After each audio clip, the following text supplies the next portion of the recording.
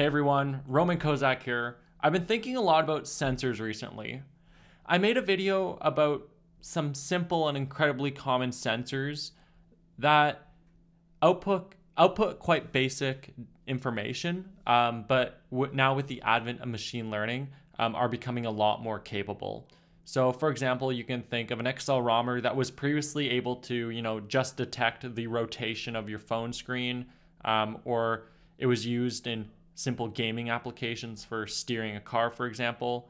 Now that same accelerometer uh, and gyroscope, so uh, inertial um, measurement unit, is being used to figure out if you're running, walking, sitting. Um, I just bought a pair of goggles recently that have a IMU inside that can detect your swim stroke and your um, how many laps you've done in the pool. Um, that's by a company called Form Goggles. They're they're quite cool. And then I was thinking about sensors, and I made a video about a 3D magnetic sensor that's also really cool. Um, and when paired with, um, you know, mechanics like a joystick, a slider, or a knob, uh, can be enabled to do very useful um, things. Um, so that was really cool. But then I was looking for a sen- for some sensors that um, by their own design, um, down to um, you know the way that the integrated circuit is designed, um, sensors that were very capable pieces of hardware themselves. So I have searched DigiKey, um, you know, and Altium and Mouser um, and the manufacturers for the five coolest sensors that are available right now to integrate into your electronics projects or products. And I will be showing off those five sensors in Altium Designer today. Um, they're the world's most widely used printed circuit board design software, um, and they're the sponsor of this video. So definitely go check out their free trial link here at altium.com slash YT slash Roman A. Kozak um, for your own free trial of Altium. It's actually um, quite a capable program. And like I said, it's the most widely used um, circuit board design software out there. As well, something I like about them is they pay a lot of attention to components.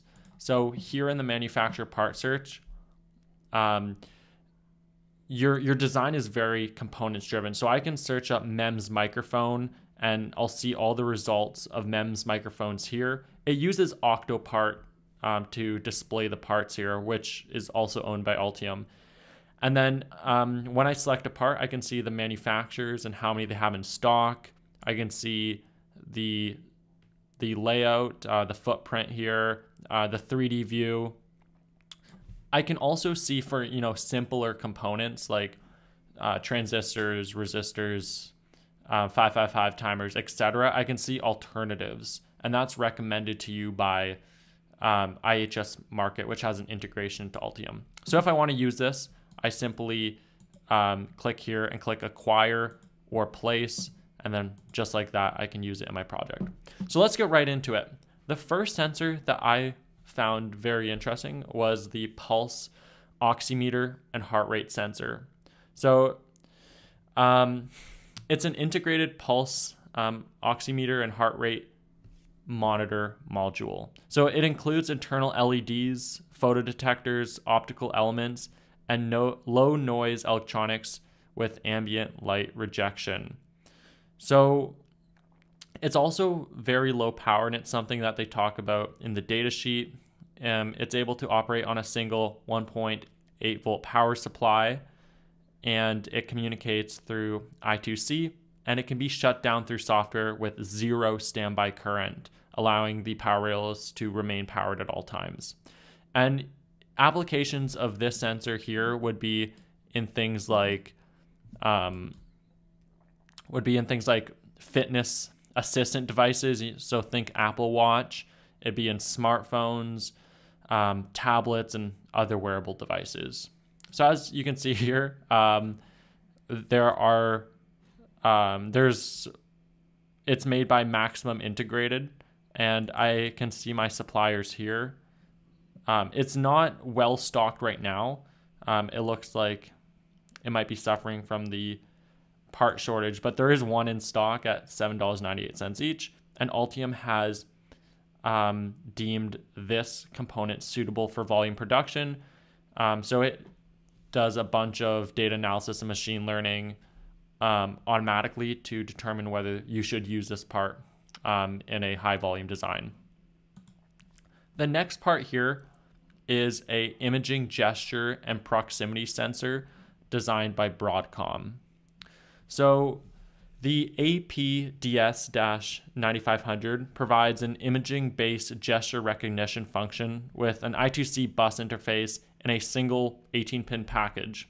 So it can recognize nine gestures, including move up, move down, move left, move right, move forward, move back, circle clockwise, circle cl- counterclockwise, and wave. So this gesture information can be easily accessed via the I2C bus. Um, it also provides built-in proximity detection for sensing objects approaching or departing. And you can imagine applications for this sensor could be in gesture detection, cell phone touchscreen enabling and disabling, um, such as when you place the phone up to your ear, mechanical switch replacement, and frontal face tracking. So, yeah, it's made by Broadcom, and there are 1,030 um, here in stock at DigiKey. And Altium has also deemed that this part is suitable for volume production. So, this next sensor here is an infrared array sensor. So, its features um, are temperature detection of two dimensional area. So it can detect 8 by 8 pixels, so 64 pixels of temperature. So it's like a um, thermal imaging camera, just very low resolution. It has a digital output um, capable of temperature value output as well. Um, it's a very compact surface mount device package. Um, and you can imagine using this um, in a like advanced home appliance such as a microwave that can maybe tell the temperature of the food and um, suggest you microwave your food further if the center temperature of your food is cold. It can also be used in air conditioners, um, energy savings uh, appliances like lighting control and air conditioning control, digital signage to kind of detect where people are standing relative to your sign, um, as well as automatic doors and elevators to detect the presence of people. Um, it's manufactured by Panasonic, and you can see there are 2300 here in stock um, from DigiKey and some other suppliers as well. Altium has also deemed that this product is suitable for volume production. So the next part here is a is a 60 gigahertz pulse coherent radar sensor.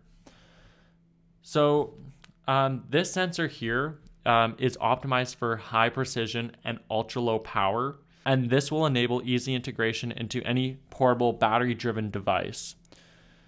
So they say it's based on their leading edge patented sensor technology with picosecond time resolution, and it's capable of measuring absolute distance with millimeter accuracy up to a range of two meters, and with configurable update rate. They also say that this sensor um, remains uncompromised by any natural source of interference, such as noise, dust, color, and direct or indirect lighting. Also, I hear you can place this sensor behind, um, for example, or inside of a plastic enclosure, and the radar will, will penetrate that plastic enclosure and will still be able to detect distance. So this here has a lot of applications. You can imagine like a parking sensor to detect a car, um, any high precision distance measurements with millimeter accuracy and high update rate, um, any application where you need ultra low power consumption, um, uh, proximity detection with high accuracy and the possibility to define multiple proximity zones. Things like motion detection, speed detection, um, material detection. So um, whether you're trying to uh, detect mater- uh, metals um, in like a metal scanner, um, and like how far away that metal object is. Also, high precision object tracking and some gesture control capabilities. Um, and also, this is so sensitive that um, you can use it in monitoring vital life signs such as breathing and pulse rate.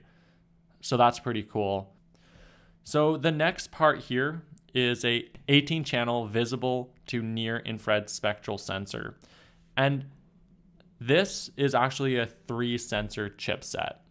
So the sensor that I have here um, would um, would act as like the host, um, so the master, but it also has sensing capabilities as well. So it's an 18 channel channel visible to near infrared spectral sensor, um, and each of the three sensors has um, has six independent on device optical filters um, whose spectral response is defined in a range from 410 nanometers to 940 nanometers. So it also has built in control for LEDs, um, and they call that electronic shutter.